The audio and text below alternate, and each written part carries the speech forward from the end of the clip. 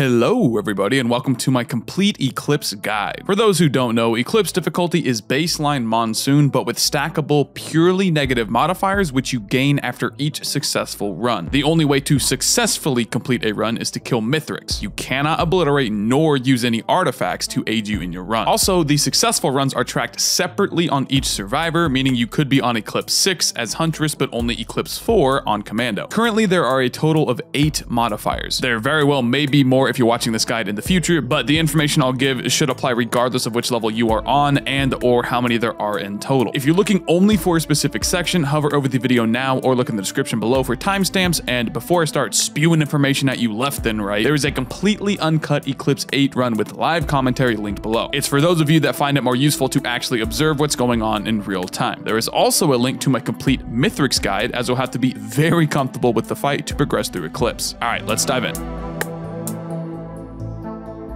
I'll start here by explaining exactly what each Eclipse modifier does individually so that I can then go over general strategy as a whole. Eclipse 1, while potentially scary at first glance, simply causes you and any allies, so drones, beetle guards, and such, to begin each stage with half of your health missing. It is not a permanent reduction and you're able to leech, heal, or regen your health back to its full amount. As this is the first modifier you encounter on your Eclipse journey, it will likely throw you off at the first few runs, but once you realize that a single healing item completely nullifies it, E1 becomes nothing more than a blood shrine that scammed you. Eclipse 2 is self-explanatory. Your teleporter is half its usual size. Now, you may be thinking, gee, half size ain't too bad at all. And then you'll quickly figure out just how noticeable it is when a sphere loses half of its area. E2 can make your stage 4 and especially stage 5 teleporter fights extremely stressful as you'll have to kite around the multitudes of elite brass contraptions, elder Lemurians, parents, and such with only half of a usual space. Eclipse 3 is also self-explanatory. Fall damage is doubled and can completely kill you instead of always leaving you with at least 1 HP. Basically, get ready to cancel your momentum when falling from heights greater than a few commandos, and be very, very wary of the edges of each stage. There is a bit more to cover with this modifier, but I'll save it for the general strategy section. E4, like E1, can potentially be scary at first, but thankfully it only affects enemy movement speed and not their attacks or abilities. Enemies with exclusively ranged attacks, like wisps and brass contraptions, are simply more nimble, and ones such as beetles and parents can catch up to you quicker, but otherwise remain largely the same. E5 cuts all healing you receive in half. Regen, leads, shrines, drones, no matter the source, it's halved. Think of it as an inverse rejuvac. E6 lowers gold gained from kills and only kills by 20%. You'll find this modifier annoying when killing enemies that are already on the stage when you arrive. Normally these guys only drop a fraction of their usual amount, but with E6, they will literally grant zero gold on stage 1 and even stage 2 occasionally. Super frustrating. E7 is quite the potent modifier. 50% cooldown reduction essentially translates to double attack speed for everything. The only redeeming factor about E7 is that it does not affect the animation speed of attacks, so golems will still take the full amount of time to charge their lasers, contraptions will queue up their spiky balls at the same rate, so on and so forth. Also, the travel speed of all projectiles remains the same. There's no getting smacked by a Mach 10 contraption ball. The difference is that the recovery time, the time from when an enemy's attack ends to when it can begin again, is halved, leading to double the overall attack rate. Finally, Eclipse 8. Permanent damage. Kind of. Its exact function is as follows. A percentage of your maximum health is removed based on 40% of all damage taken. The black teardrop icon above your health indicates your current percent of HP lost. One stack is 1%. Any HP removed by E8 occurs via the Curse debuff, the same method used by Shaped Glass and Tonic Afflictions, which means you cannot, under any circumstances, restore it. However, the E8 debuff is reset entirely upon reaching a new stage. As soon as you teleport out, all stacks of the Black Teardrop are removed and you're reset back to your usual HP amount. Finally, for the debuff to add a stack in the first place, 40% of the damage taken must exceed 1% of your non-debuffed health. That last line is quite quite the loaded sentence, so allow me to use an example to better explain. First, a very clear example of the E8 debuff at work. My non-debuffed or max HP is 200. Remember, the debuff only triggers when 40% of the damage you take is more than 1% of max HP. In this case, 1% of my HP is a whopping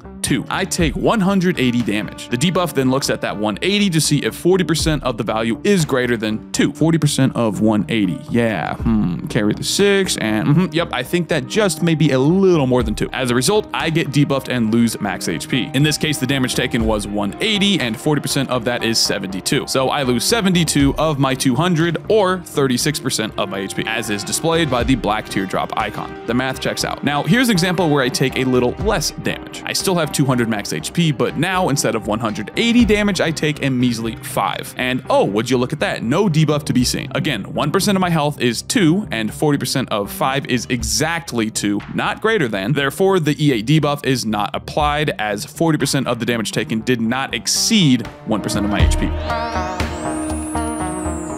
Now that you know exactly what each Eclipse modifier does, let's talk about the approach you should take to have the greatest odds of tackling Eclipse difficulty as a whole. Everything you hear in this video is catered towards Eclipse 8 specifically, as you'll be under the effects of all modifiers simultaneously, and hey, you may as well prep for what's to come even if you haven't reached E8 yet. First and foremost, Eclipse runs should be done at stage 6, period, end of story. Your sole goal is to win a run, which again is only done by killing Mithrix, so you need to go straight to Mithrix upon completing the teleporter on stage stage 5. You are shooting yourself in the foot if you choose to loot. Think of it like this. Do you have an absolutely insane run with crazy good RNG? Awesome, go to Mithrix and annihilate them. Do you have an average run with some okay items and stand a decent chance of taking him down? Cool, go to Mithrix and play it carefully. Do you have an abysmal run with only war banners, poglyphs, and frost relics? Well, you sure as heck ain't gonna make it through another loop with that stuff. YOLO straight to Mithrix and pray that the lunar cauldrons along the way hook you up. Even with amazing loot, if you choose to loop, you run the chance of something silly like this happening. And no! The pots, dude! The pots! Are you kidding me? I'll say it one last time. Do not loop your Eclipse runs, okay? Okay. Another big topic to cover is time spent per stage. The short answer is it depends. As for the long answer, well, in a normal run where your goal is to go as far as you can, spending less time per stage in the first loop is ideal as it grants you the best ratio of risk to reward.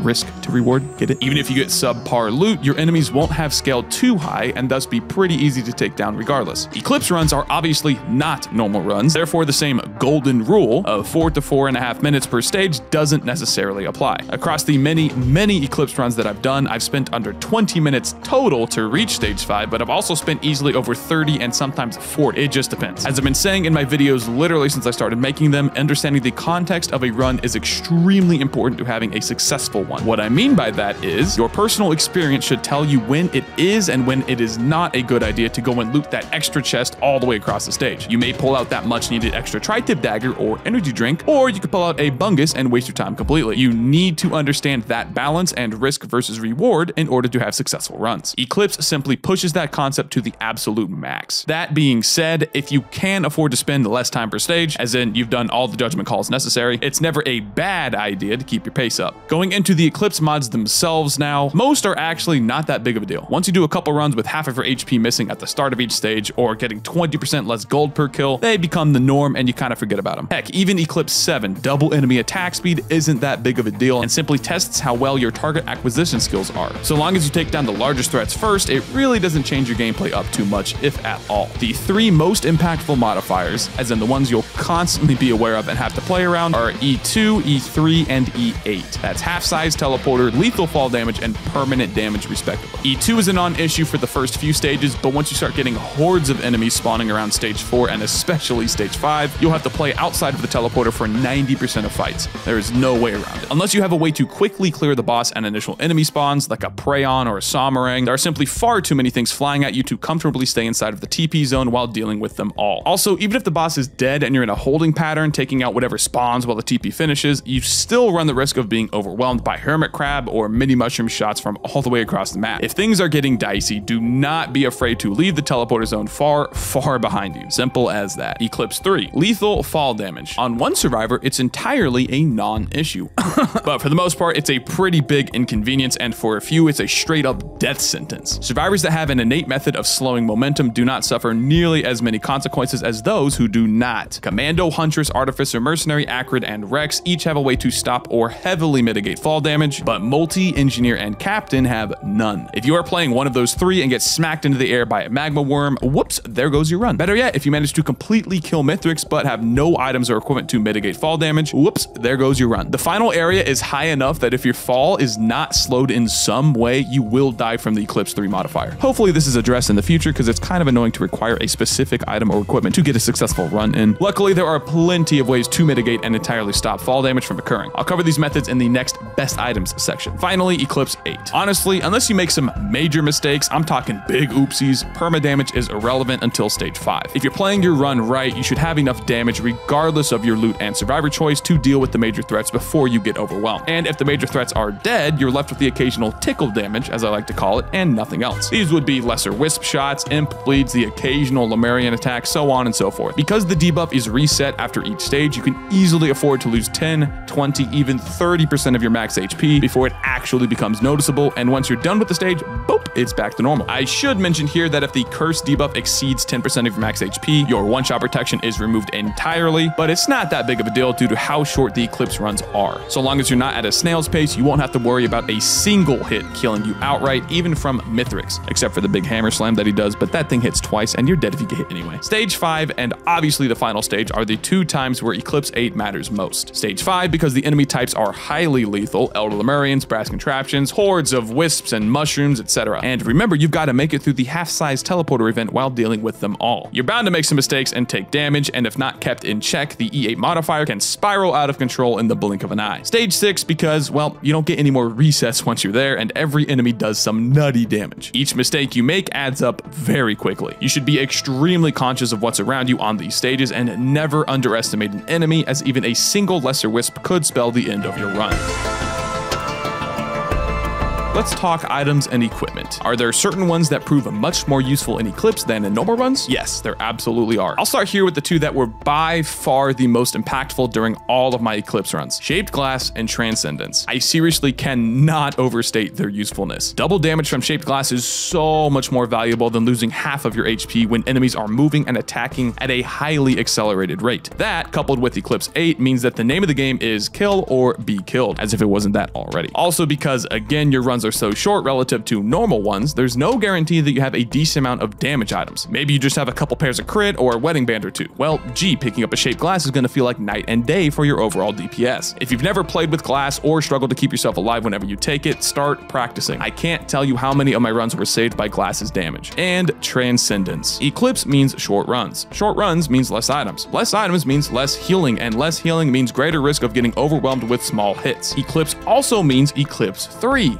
E3 means fall damage. Do you see now? Transcendence is the key. Are you worried about dying from lack of healing? Tired of spawning in every stage at half health? Wish you'd stop losing 20% of your HP by falling from a height no greater than a couple Tyler ones?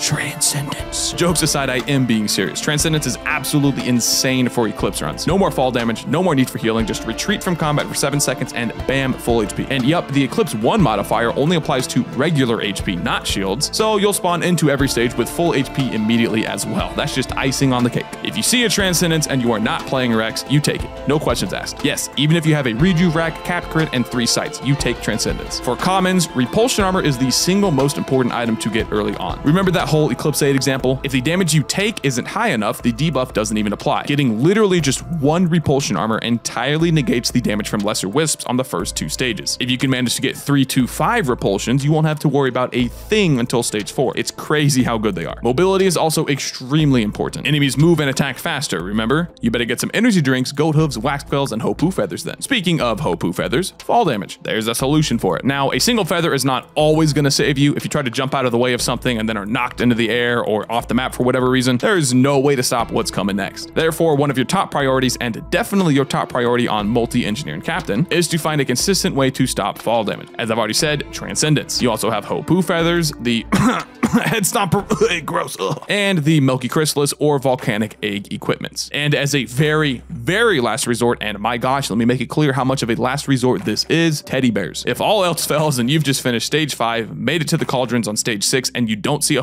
Feather, well, then you better YOLO off of Mithrix's arena with some teddy bears. If anything, it'll be some great content. Another item that is far more useful in Eclipse are armor-piercing rounds. Mithrix is a boss. That's all that needs to be said about that one. If you find a printer, you should immediately look for a scrapper and turn anything but your most essential damage and mobility items into armor piercing rounds. The more, the merrier. Before I move on to the survivor details, I'll quickly mention a few items that normally are very good items, but here on Eclipse aren't that great. Guillotines, ukuleles, and Will-o'-the-wisps. You're going straight to stage 6 and ending your run. The Mithrix fight has no need for screen-wide AoE capabilities and really no need for AoE at all. You won't see tons of elites throughout your run, so guillotines aren't nearly as useful You won't get tons of enemies in general on your screen as you're only doing the first loop, so ukuleles and wisps aren't that great either. And for all of them, they have zero effect on the Mithrix fight itself. You are much better off taking another Hopoo Feather, Wax Quail, ATG, Band, whatever it may be, than taking a single one of those items. But of course, as with everything, context may dictate that a single ukulele or wisp is required to deal with whatever situation you are in. These items will still do their respective jobs just as well as usual, it's just there are way less jobs for them to do in the first place. Hopefully that makes sense.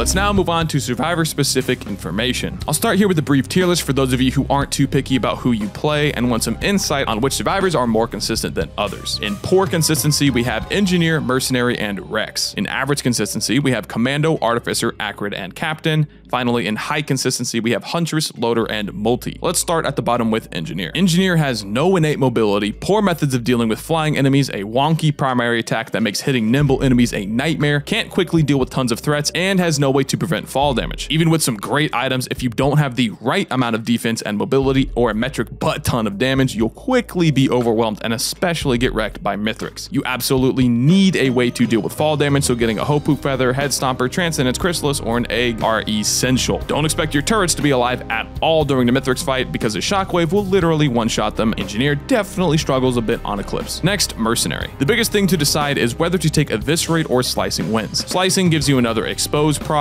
and some actual range to deal with threats, but Eviscerate gives more consistent DPS, mobility, and of course some iframes. I started my Mercenary runs with Slicing Winds, but after changing back to Eviscerate, it honestly felt a whole lot better. But experiment yourself to find out what suits your playstyle best. Also, Visions of Heresy is a no-brainer pickup on the Mercenary. Why bother staying in melee range constantly versus highly lethal enemies for the occasional exposed proc, when you can just sit back and enjoy crits, bleeds, and ATG procs just like everybody else. Next, Rex. Note the two loadouts, one for Eclipse 8 specifically, and one for everything beforehand. The sole reason Rex has poor consistency is because sadly the permadamage modifier does affect his self-damaging abilities. To say playing Rex on E8 is frustrating is quite the understatement. However, on all Eclipse levels before 8, Rex is just as powerful as he normally is, save for half as much healing once you hit E5. Still, he's nowhere near as painful to play than on Eclipse 8. Moving up to average consistency, starting with Commando. Commando has always been pretty good in the early game. It's really once you get past the first loop where his kit begins to falter without the necessary items to back it up. Since you're only going to Mithrix, your odds of reaching and defeating him are pretty good with the Commando, mostly due to his mobility and the ability to deal with singular threats relatively quickly. Look for some bleed and some attack speed, and all that's left is to hope you don't get an overloading horde of many on stage 5. Next, Artificer. While at first glance, the Artificer may seem like one of the best survivors for Eclipse with high early game damage, the ability to negate fall damage, and her multiple freezes and executes, which do work on Mithrix, I place her here as having average consistency because man does she suck at dealing with multiple high threat targets. She's great at dealing with multiple low threat targets like regular Lemurians and Imps, but once you get more than a couple brass contraptions flying around with an Imp Overlord or a Blazing Parent chasing you, yeah, everything can accumulate very quickly and spell the end of your run, which is exactly the reason for our next survivor being here, Acrid. Our good boy Doggo is definitely the easiest survivor to kill Mithrix on. Tap him once with your poison and maintain it every few seconds for the easiest boss kill of your entire life. However, try dealing with hordes of enemies quickly and yeah, you can't do it. Every little bit of damage adds up permanently and being able to deal with large groups of enemies quickly is a necessity. Acrid is absolutely terrible at killing stuff fast, hence the average spot. Like the Mercenary, Visions of Heresy is also a no-brainer choice on Acrid as his melee attack is completely obsolete by stage 4 anyway. Next, Captain. Captain is the polar opposite of Acrid. He's great at quickly dealing with high and low threats, but absolutely zero mobility, nor a way to deal with fall damage. It's fun blowing through stages 1 through 4 with not a care in the world, but once reality sets in on stage 5 and especially the Mithrix fight, you better buckle up for the bumpy ride ahead. Finally, moving into high consistency, starting with Huntress. Insane mobility, great AoE, and pretty solid single target on top, sign me right up. The reason I don't recommend Flurry over Strafe is because your runs are simply too short to guarantee getting decent crit chance. Strafe is so much better than Flurry early on, and as I've said many times in this guide, dealing with threats quickly is a must. The faster rate at which you'll be killing Lesser Wisps and Lemurians with Strafe is worth taking it alone. Next, Multi. The only reason Multi is here is because of just how stupidly strong Double Rebar is. If you're watching this video in the future where Double Rebar got nerfed, then I'd recommend Nail Gun and Rebar and have to put him in poor consistency. However, as Multi currently stands with his Rebar shenanigans, you get a free run 90% of the time. Finally, Loader. I mean, it's the Loader. She's always obliterated the early game. Not like the portal, but you know, the actual meaning of the word. Okay, never mind. And surprise, surprise, Eclipse runs are basically all early game. That, coupled with the complete negation of fall damage, means she is easily one of, if not the best survivor for Eclipse difficulty. Alright, and that pretty much covers everything I wanted to talk about on Eclipse difficulty. To briefly summarize, never loop your runs. Always take the Mithrix fight on stage 6. Be especially aware of E2, E3, and E8 as they have the largest impact on your runs. Prioritize repulsion armor above everything on the first few stages. About 4 stacks should be enough. Transcendence is a free run. Shaped Glass is very strong as well. Finally, if context dictates it, spend as much time as you need to get as powerful as possible. Don't worry about the golden rule of time spent per stage. And that's it. What are your thoughts? Are you rocking Slicing Winds Mercenary and want to tell me just how busted it is? Let me know with a like or dislike on the video and a comment below. You can check out my stream at twitch.tv slash and consider joining our Discord server as well. Thank you for watching.